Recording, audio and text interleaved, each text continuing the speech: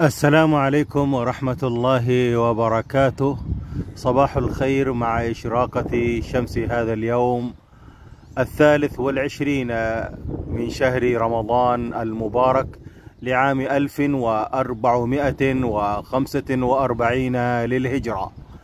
الموافق الثالث من إبريل 2024 هذا اليوم لا يمكن أبدا مشاهدة الشمس على الإطلاق فالسحاب من جميع الجهات شرقا وغربا وجنوبا وشمالا ومن كل الجهات. والسماء مهيئة لهطول الأمطار.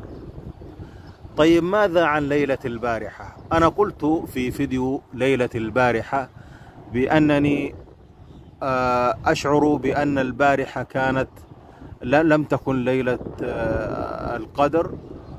والله أعلم. طيب ماذا عن الرؤى التي تقول بأنها ليلة الثالث والعشرين؟ لعل هذه الرؤى تتعلق بهذه الليلة التي هي الآن أو هذه الليلة تعد ليلة الثالث والعشرين عند من صاموا بعدنا. نحن صمنا يوم الاثنين هم صاموا يوم الثلاثاء وعليه فقد يكون ليلة الثالث والعشرين هذه الليلة بالنسبة لمن صام بعدنا. هي بالنسبة لنا ليلة الرابع والعشرين وهي زوجية لكن بالنسبة لمن صاموا بعدنا تعتبر ليلة آه وترية. ولذلك أقول احرصوا تماما على هذه الليلة. طيب هل يعني ذلك أن الرؤيا عندنا غير صحيحة؟ لا. بل الرؤيا عندنا صحيحة مئة بالمئة وتأكدت بذلك بنفسي. لكن آه اختلاف المطالع. عندنا تمت رؤية رؤية الهلال. عند غيرنا لم يروه ولم يظهر بل يستحيل رؤيته بسبب كروية الأرض.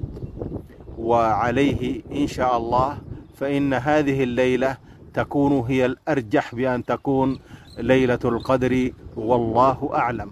سوف نتحرى ليلتها وأيضا شروق شمسها وإن كنت أعتقد أن الأجواء والطقس سوف يطمس علينا رؤية الشمس أو أشعة الشمس. وعليه إن شاء الله بإذن الله تعالى أقول أن العلامات التي تظهر لي سنويا في الليل. يعني هناك علامات قبلية وهناك علامات بعدية. العلامة البعدية هي الشروق أشعة الشمس فقط. أما العلامات القبلية فهي كثيرة وسبق أن تحدثت عنها في فيديو كامل في القناة. لذلك إن شاء الله بإذن الله تعالى أحثكم وأحث نفسي على الحرص في هذه الليلة لعلها تكون بإذن الله تعالى ليلة القدر وذلك حسب الرؤى المتواترة. والله أعلم وأحكم وصلى الله على سيدنا محمد وعلى آله وصحبه وسلم.